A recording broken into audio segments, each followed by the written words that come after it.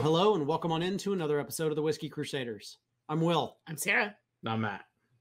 Today we're talking about Iron Root and their Harbinger whiskey. We have in front of us today a YouTube only pick. A bunch of YouTubers got together and picked this bottle, uh, including us. So we're pretty excited to be uh, talking about it and reviewing it today. Be sure to hit that like and subscribe button and click that notification bell. Matt, why don't you tell us how we came about this bottle? All right. Re- right. Refresh our memory. How do Fresh we? your memory. How do we do this? It's been a year. All right. So yeah, God, it hasn't been a year. That's terrifying. All right. So this is Iron Root. Um, we've had Iron Root on the channel multiple times. Obviously, we are good friends with the Likarish Brothers, and uh, yes. Uh, so because of that, we just want to make sure it's still our own opinions and everything, but obviously we love Iron Root. We love Robert and Jonathan. So it's it's not going to make any difference. But they're they're awesome people, and we've I've been to the distillery multiple times, and. All right, so Iron Root itself, We're we- still honest to, to good people, though. So Oh, you know. absolutely. Yeah. If we think it sucks, we're, we're more than happy to tell you it sucks. I, Yes, I we think will. we uh we've done it before. so it's no big deal.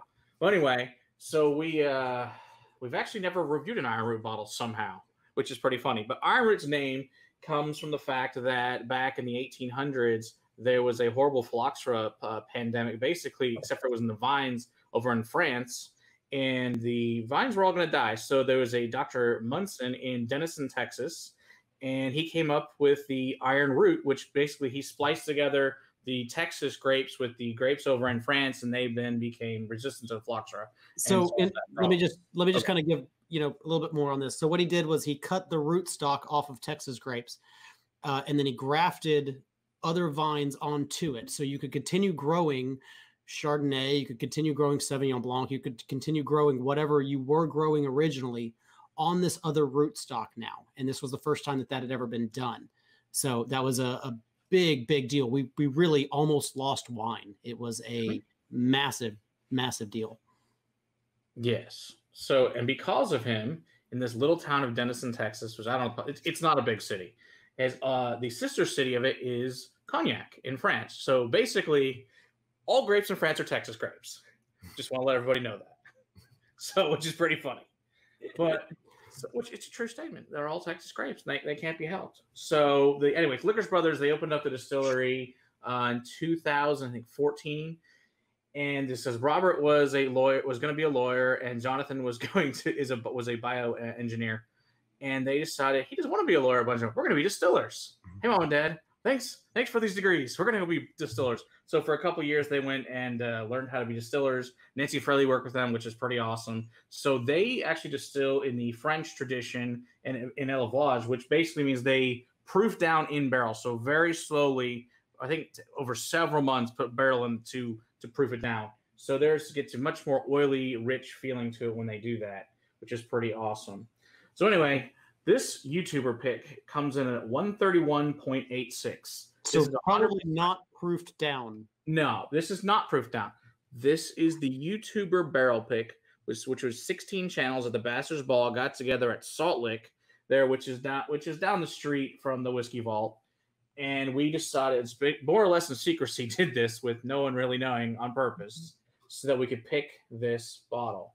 And this is barrel 256. This, like it says, 131.86. This is the second highest proof Iron Root's ever released. It is uh, 95% yellow dent and then 5% uh, bloody butcher corn. So this is 100% corn bourbon.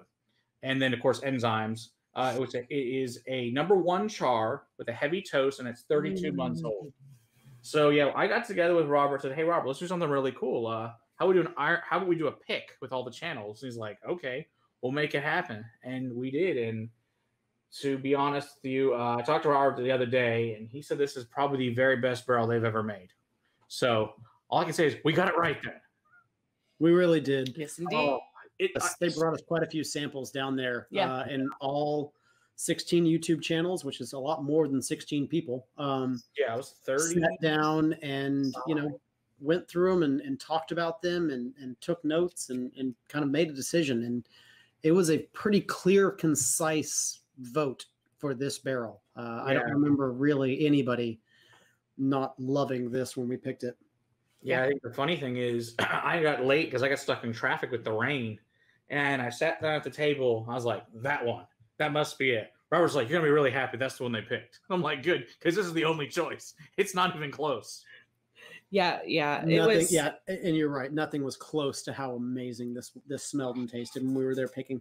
that was definitely a, a, a great experience though to get that many channels in that many different Palates. tastes and palates Mhm. Yeah. together to actually come down to one barrel that we All. M- yeah pretty Yeah. much pretty much all all agreed on i don't I mean, know for somebody like from Ed and the Rotgut Review to agree with Sarah from It's Bourbon Night, to agree for, with with you, to agree Mm-hmm. with. I mean, it's it was really amazing to see all of these different palates. Uh, kind of lining up everybody lining up towards this. It was really fun. plus it was a heck of a lot of fun to sit there with all these channels some of them meeting for the first time And some of Um, us we've known for you know a year now. And and some of us we've we've met at the first bastards ball Right. you know um it, just sitting down and getting to know these people in person that we've talked to online so many times and you know it was a really good experience overall Yeah. not just picking an awesome barrel because Yeah. yeah we did that But the whole point was it was a great icebreaker for everybody to get together and meet and oh yeah all this. And we have other plans for other things I've got in the works. Unfortunately, the Bastards Ball is canceled for this year, but I've got other things working with some other people that's really going to be cool. But uh, all the Good. other YouTube channels are going to release reviews too, and we'll link once. Well, ours will be first. Um, they'll all be linked together with all the channels. You can see what everybody thinks of it. you can't even give any nosing We, we should give nosing. We should probably do our job now. After Did we not give nosing notes? no we just said it was good Oh my Yeah, god. all Uh, we spent so much time talking. I figured we had given nosing notes already. I we haven't moved talked about it yet. No Oh, this that's so is yummy. this has definitely got the Texas stamp, and it's also, of course, got the iron root stamp. If you've had iron root before, you know what that is. Yeah, it's that it's that corn. Yeah, It's that corniness that, that iron root corn has. in the Texas heat. Mhm. Yeah, It, it makes it. a good mixture, It Yeah, does for them. but it also has a lot of nice fruity notes. Um, I Mhm. get a little bit of like the fruit stripe gum going on there.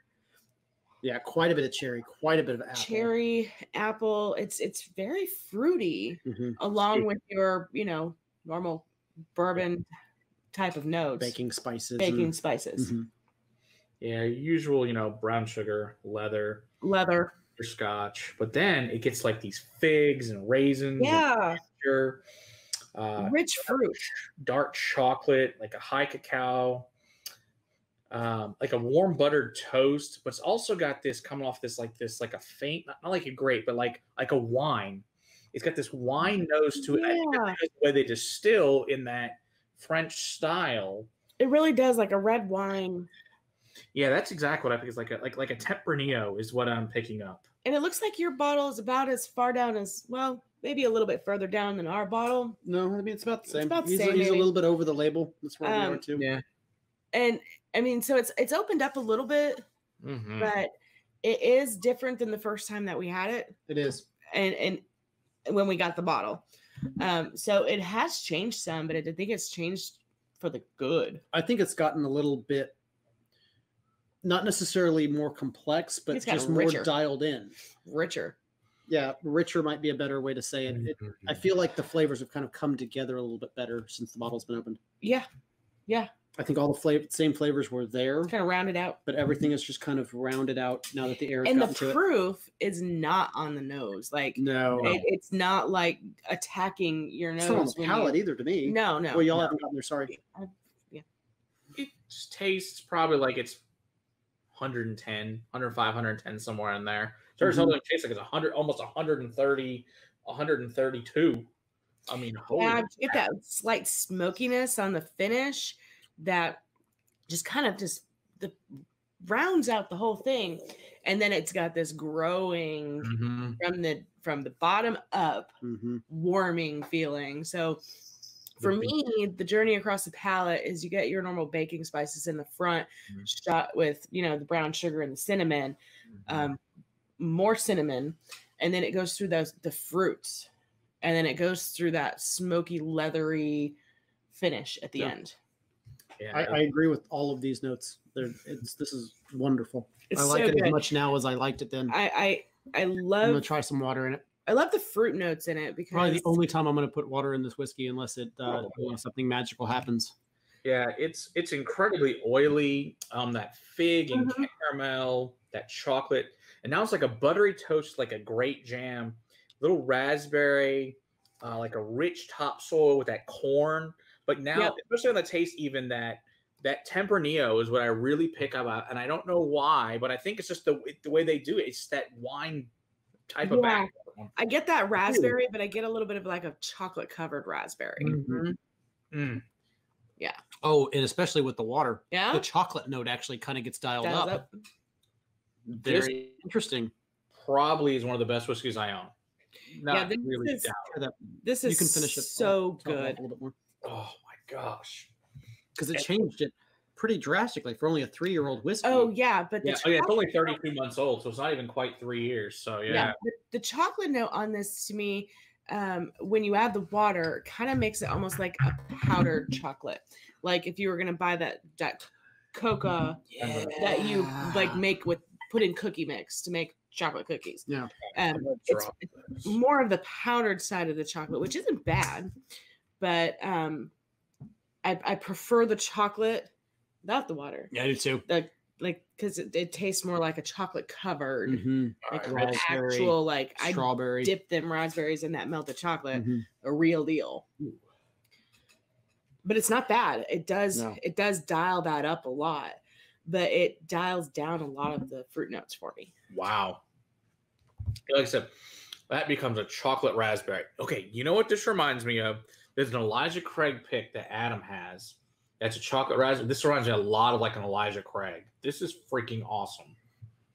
Yeah, I I, Yeah, Elijah usually has a lot of that fruitiness too, doesn't it? That red fruit. I really like a, a fruity bourbon. Me too. I really do. And I'm finding as I go through more and more of them, the higher proof have a lot more fruit. Yeah. Yeah, I agree with that. Yeah, best part is it's 60 bucks now. Yeah. There are only 75 bottles, so there was a select few of you that were thankfully able to get this bottle. Now, I will say this, I know it's valuable, but so anybody that has one, we would appreciate if you'd share it with your friends. As anyone obviously that comes here will get to share it. I think that's Share pretty much love. given in this community. Um, but this has got to be seriously one of the best bottles of bourbon I've ever had. This thing is incredible. Yeah. I, I can't say enough good things now. It's so rich and dense. There's going to be another special release of this because there was an accident at the distillery. So there was going to be more bottles of this. Well, we were supposed to do well. I mean, I guess we can explain it. We were supposed to do an evolution barrel with this, meaning we were going to bottle a third of it, wait a little while, bottle a third of it, wait a little while, bottle the rest of it, right? Uh, so that we could actually taste what the wood impact would do if we would have left it in the barrel essentially for however long. Uh, but there was kind of a mix up at the distillery. well, there mm-hmm. was that, and there was two, there was a big demand for it for obvious reasons. Yeah. Well, we were going to just bottle the rest of the barrel because we we Oh. only taken seventy five out. We were going to bottle the rest so could, more people could have it. That's okay. Well, somebody forgot that it was the the barrel was turned the other way, and they looked at the bot. Didn't realize because one side says YouTube all over it, other side says nothing. It got dumped in an Armagnac cask. So in October, there's going to be an Armagnac cask version of this, which will be probably unfreaking believable. Probably even better somehow. Yep. So I can only imagine we'll definitely give you guys a review that when we get that one when it comes out in October. But uh, we do want to say thank you very much to Robert and Jonathan and Marcia and everybody else Iron Root for treating us amazing at Salt Lake and for allowing us to pick this barrel with you guys. And this thing was freaking fantastic. And just Yeah, thanks they're- YouTubers for coming all over the country and picking this with us. So The peeps up there in general. So awesome. if you're in the area, you haven't checked them out, check them out. Yeah, go to Denison. They're good Make the, people. make the drive. Yeah. Yeah, yeah. totally worth. Yeah, some of the greatest people you'll meet in the whiskey business. They will treat you like family. They're just awesome, down to earth people. Oh, I yeah. You know, regular Harbinger, which we'll get you guys a review on, um, is at least at some total wines around the country. But that's the way. But unfortunately, like I said, this is just a pick. But uh, you know, only probably like said, the greatest pick ever. But it is what it is. The, reg- the regular Harbinger is really good too. Fantastic. I mean, it's it's yeah. Iron Root is doing some really good things, and Yep. and uh, Well, and I they're can't doing- wait to see the rest of the things they're coming out with. I I'm really enjoying a lot of the peated things they're doing uh, over there as well. They got a couple of Islay barrels and they're having some fun. Wouldn't know anything about that. We- we'll have a review on that too soon. The new um, Icarus. Yay. Oh, I know Sarah's so All excited. right. I'm thrilled. It's probably the only thing that I'm not a fan of that Iron Root puts out. Yeah. It's the peanut stuff. You see You what you can't think make of. You might can't like make it. You never know. Mm, no, I know.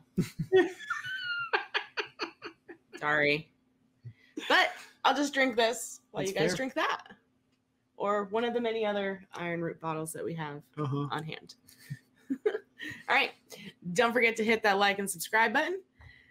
And until next time, Keep on crusading Put a whiskey in your glass. Cheers. Mm, so frickin' good. Yeah, it is.